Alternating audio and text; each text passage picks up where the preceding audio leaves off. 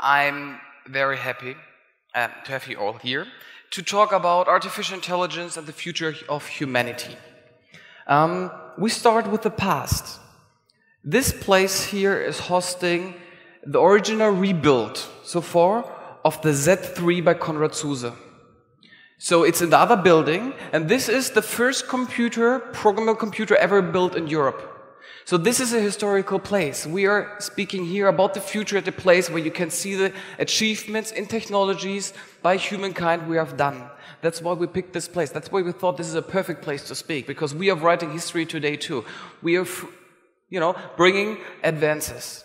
Um, this machine, uh, programmed by, by Zuse in the 1930s and 40s, destroyed during the Second World War, had 200 bytes of working memory. So 200 bytes. Keep this in mind. And 5.3 hertz of processing powers. So everyone who has a, a smartphone today knows how damn slow this is. Very expensive, very big. First programmable computer made in Germany. We started Rise of AI very small um, I started a meetup group because I wanted to speak a couple of years ago with other people about artificial intelligence. And um, we met in c-base. And for those from Berlin, they know it, everyone else. c-base is the first hackerspace which we had. And it's a um, spaceship. And we were 15 people discussing for a whole evening if there would be a singularity one day or not. And they asked me if I could do this a little bit bigger. So next time we met, and we were 70 people. And then we were 180 people. And today we're over 300 people. So the topic of artificial intelligence finally reached a certain critical mass of interested people. And you are all these early adopters who are thinking about this. And you're the lucky ones who are sitting here because we have a long waiting list because we made a cut a couple of weeks ago, said no, these who have a ticket, they can come, no one else. So what is artificial intelligence? It's a very tricky question, and whoever you will ask, you will get a lot of answers about this.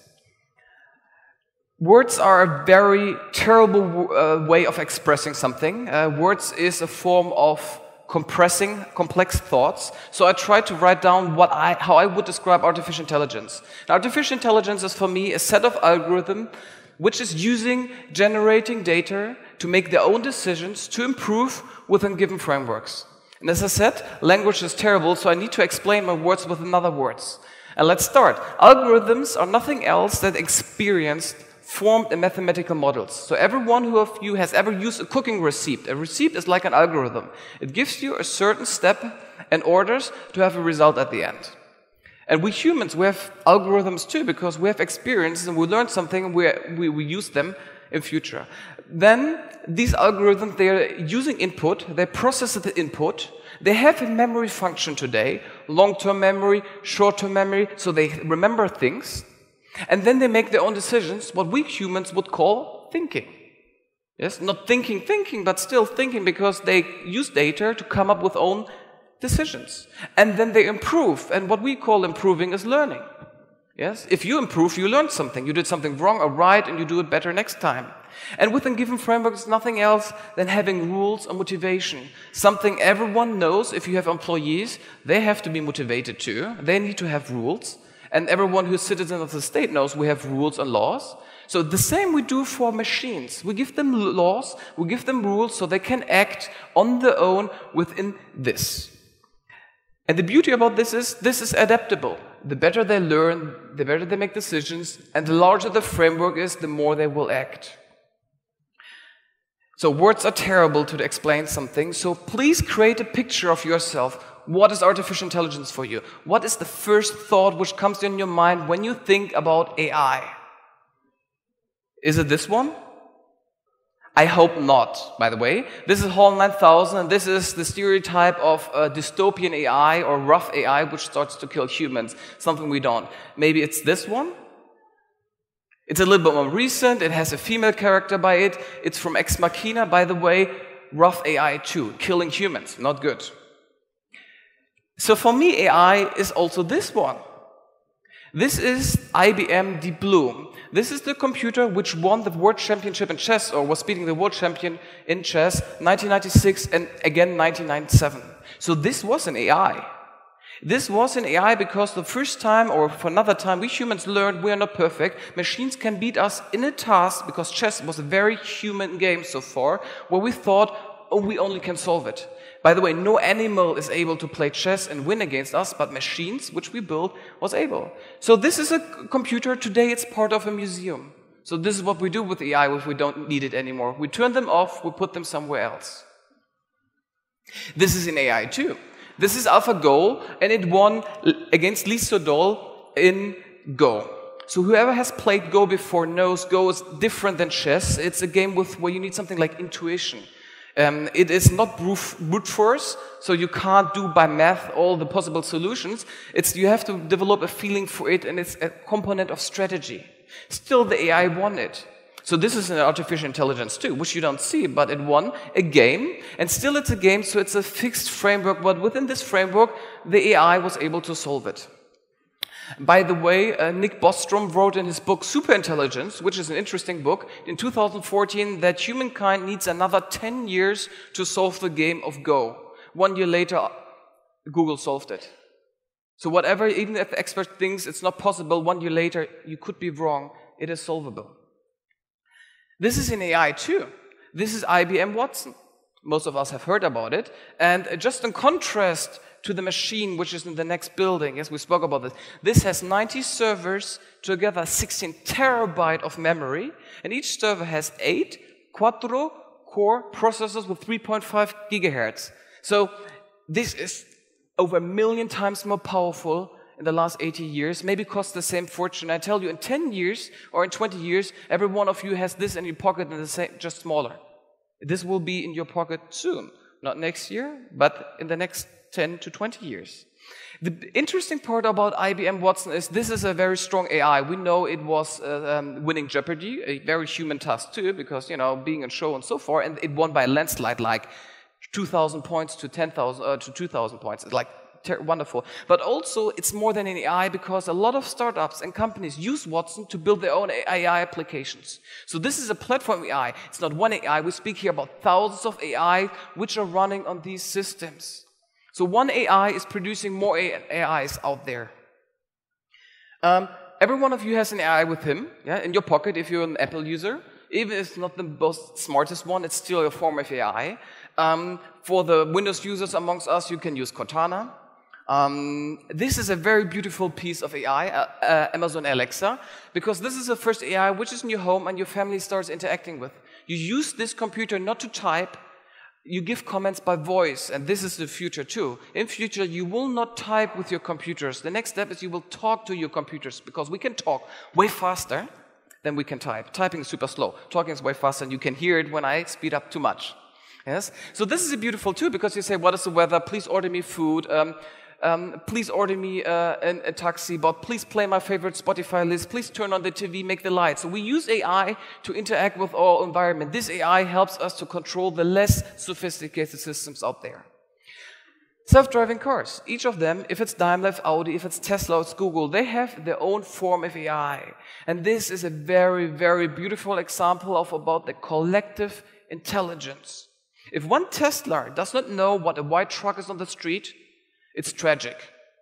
But afterwards, every Tesla out there knows how to recognize a white truck. So hundred thousands of cars out there learned from one mistake one system was doing. With every mile a car is driving, if they do something right or wrong, every other car learns. So they get better every day significantly. They system update instantly. We humans, we all know it. You had to go to driving schools, you had to take lessons, you had to learn all this paperwork, and it didn't, you know, even if you know it well, all your friends, they had to do it too. We could not share this knowledge. It was really, really slow, and really painful, and we are still shitty drivers. As you heard in the video before, we kill 40,000 people just in the US every year. We are terrible at this. So that's why we invent AI to do the stuff which we are not good at and which we don't want to and which we're super slow. Well, um, stock market is mainly run by AI. Today, I don't say anymore you beat the market, you beat the bot, which you can't. It's faster, it's more reliable, and it is rational. We all know that stock markets go down because people are irrational. They sell and buy when they're not supposed to do because it doesn't make sense. And they are, they are less hard to influence. Yes? Um, mainly our wealth is today driven by AI because they already run the stock markets and everyone who has stocks and they were going up for the last six years, we benefit from this. Google is an AI company.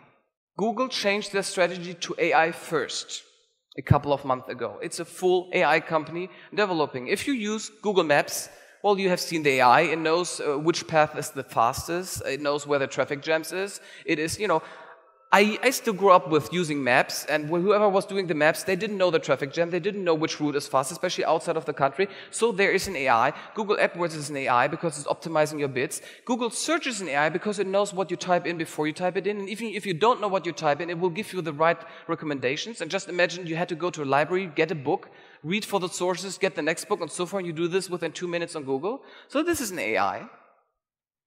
And there are younger AIs too.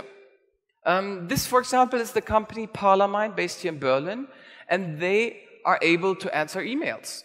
If you use Zendesk or Gmail, for example, an email is coming in and the customer support agent sees the possi possible answer already there, he can say, I want that the AI is answering the email all the time or only if I accept this. But this system is able to read your emails.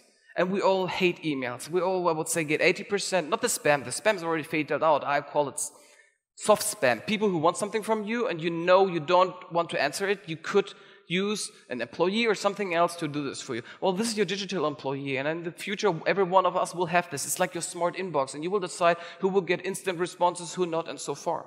Another form of AI is the company Accelerated Dynamics based in London. They have a mission control for drones. So if you want to control one drone, well, that's it's hard, but it's possible. If you want to do two or three, it's hard. Have you ever tried to control 100 drones at the same time?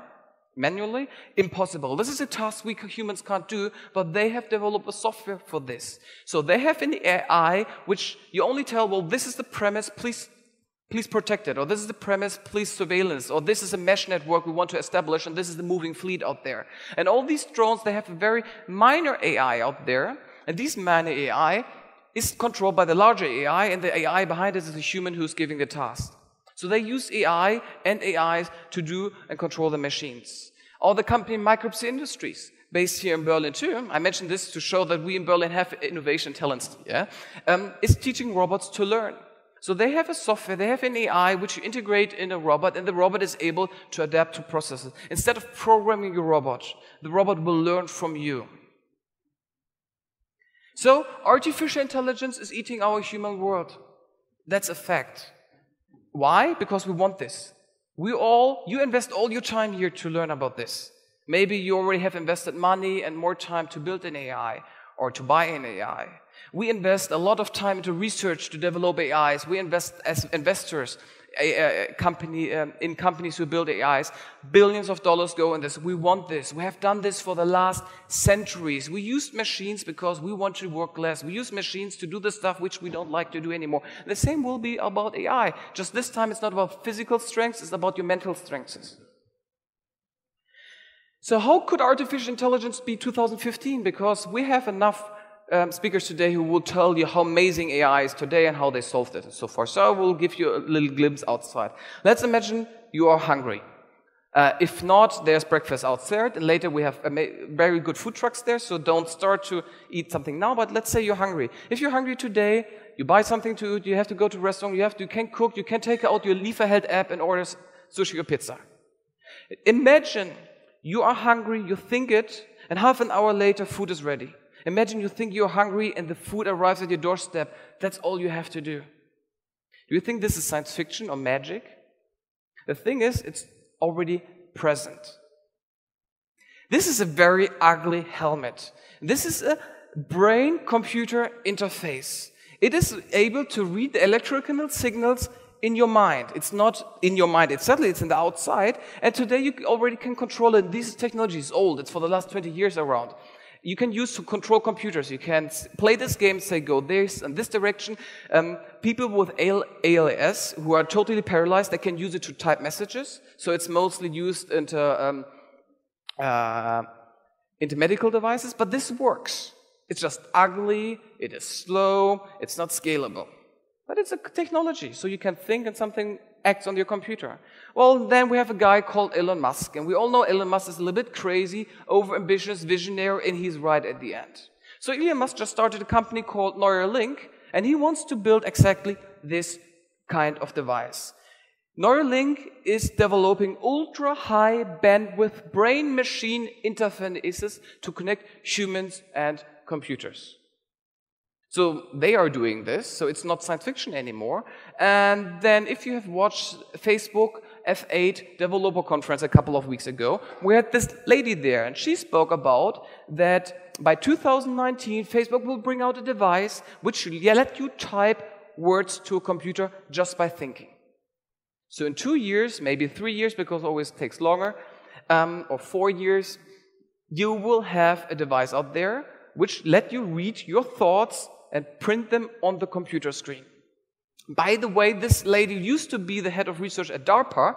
So DARPA is financing everything this. DARPA is the American military agency. Why do they do it? Well, the governments fear one thing the most, and that's their own citizens. So that's the way access into your brain. There will be solutions against this, but still, you have to be aware that this will happen. So the first thing which happened with this is you don't need this device anymore. You don't need these devices anymore. You don't need to type in because in the next five, let's say by 2025, you're sitting in front of a device and you think and you will see it. Imagine that every app you just think and the app opens, you say oh, go down and something happens, or even more sophisticated. Imagine you think something and you think so much and it's a feeling. Did you ever have this moment that you had an argument with your wife or your husband and you didn't understand them? Happens to me quite often. So I wish I would get the feeling what she has because words are so terrible in expressing what we really feel. So in future, you will be able to share feelings. It won't be that you force your feelings on it. You will have your own permission. You will accept what you have, like the same will like words. You only speak if you want to. And if you don't want to speak, nothing will happen. So the same will be with words, but you will be able to share it. I like public speaking. And I'm not perfect. I speak too fast. I like to walk around. I, sometimes I'm over the time. So I had to practice as a kid. I was, as a kid, always sitting first row. When the teacher asked me, who wants to give a talk? I was like, I do it. Um, so I was the nerd. And uh, nerds rule the world, by the way, today. Yes, everyone knows who has an IT department or technical unit. And I, I practice a lot. I practice hours of it. But I'm far from perfect. So I'm pretty sure someone in this room is better than me. Just imagine you can share your skills with me. Everyone can share his skills with me. You will come to a point where you know something and you want to share it. You share not only your words or you give a workshop about this. You can share your experiences, your algorithm in your brain, plus your storage, your data set, and you can share it free one time. So then this is real, just without the ugly plug in your head. It will be just wireless. We will come, what I call is the Internet of Agents. And this is coming back to AI. So how will you communicate with AI in seven years or eight years? Well, you will have them in your mind in a certain way and you just communicate, and say, oh, please order food there, or please uh, read the emails for me, or please make an appointment uh, for dinner with my wife tonight, or please send my mom, mother some flowers. Today use apps for this, or websites, whatever what is a website or an app will be a bot. And everything which will be bought will be an agent who's fulfilling your purposes, your needs. AI is serving to these needs you have. And you will have these orders. And today you type these orders, and at this time you will think it. Well, AI will run our world by then. It's already running today. It will run our digital world. Yes, we, you can't create virtual realities and all these worlds without the help of AI. And you can't create an augmented world which is coming out without the help of AI. It will help you to filter. And by the way, Facebook just published a new tool which is creating augmented pictures. So you're running around today like Snapchat filters, just more with everything else. In future, you will see that when you use Facebook, all your environment will be labeled. You will see you go out there who liked what through your lenses because they have published this. So it will come too in the next couple of years. And AI will run our physical world. Just take this example. An AI sitting on a satellite, the satellite is grading the field, it's deciding when the machine is supposed to go out, and the machines uh, are doing the job. Today, already less than 2% are uh, working for uh, agriculture. It used to be 98%. Why? Because we use machines. These machines just will be smarter. So, do we want this? I see skeptical faces. I know this. And I don't speak about something which will happen. I don't speak about something which I want. I just say this is what I see which will come. So whatever things happens, there will be challenges, there will be obstacles, there will be setbacks, there will be things we don't like, but we can't change it. That's why we're here to learn about this. We need to adapt. We need to change as a society, as governments, as corporations, as individuals. With every technology's environment will be different and we have to adapt to this. So normally I, I, people ask me, well, AI is eating the jobs. And you saw this in the video and it's true. I don't say this won't happen. Eh, but the thing is, AI will not replace you right away. Everything you do today, it's safe. It's more that you will use AI yourself to be more productive in your job, which means on the midterm, your company just needs to hire less people to get the same output. Hopefully, the time you're saving, you can spend with your family and not working even more.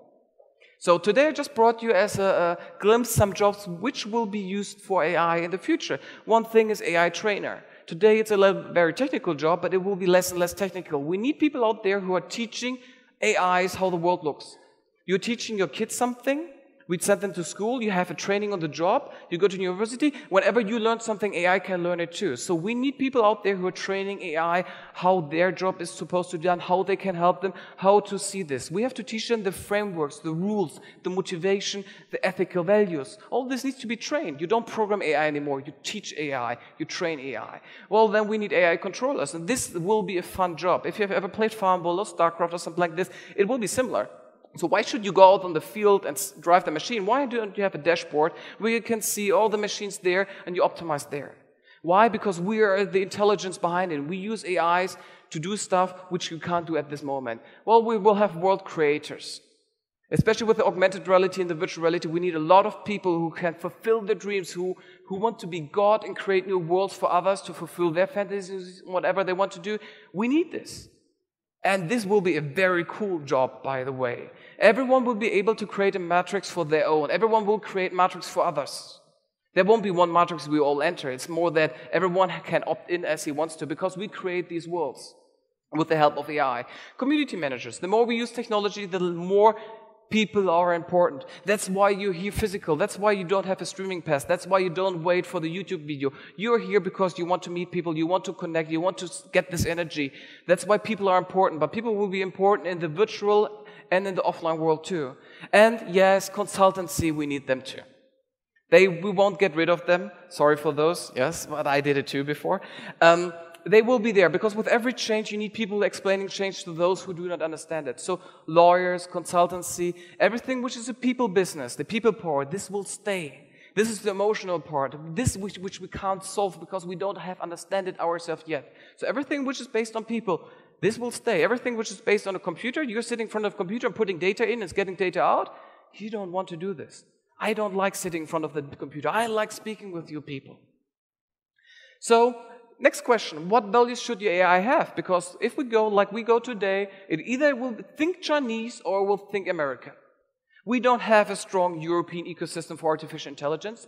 That is why we host this conference, because we want to show that we have talent C. We want to bring everything together. But currently, your AI will probably think American or Chinese. It won't share European values. And you can think about the consequences about this and how we want to change this. And if you want that your AI, your self-driving car, is having values from a culture which you have never lived in, you don't speak and you don't know, but it will act like this. Why? Because we train AI. So the AI is the replication of the people who trained it, and it will be trained in the country where it's programmed most often. So this is a rise of AI. It's a day to inspire you. It's a day to teach you. It's a day where you hopefully get enough brain food to discuss, to take home. I hope that you all have system overload at the end. Yes, I want to give you so much information today with all these speakers um, that you have enough to think for a couple of days. But Rise of AI is also a place to meet people, to look for investors who want to finance your startup, to look for startups you maybe want to finance, for potential clients, someone to hire, someone who did research you want to support, you want to work. You're all here to mingle, to network because you're all interested in this topic. You all have a connection to this. And this is mo the most important about this. So, be my last words Artificial intelligence is just a tool for us to be more human. We humans will stay for a while the super intelligence. We're still the ones who do all the brain work and we just use AI as a tool to extend our world. So there is no fear of super AI yet. I don't know what will be in 10 to 20 years, but for the next 10 years, I'm pretty sure we will stay the super intelligence in the room. Thank you.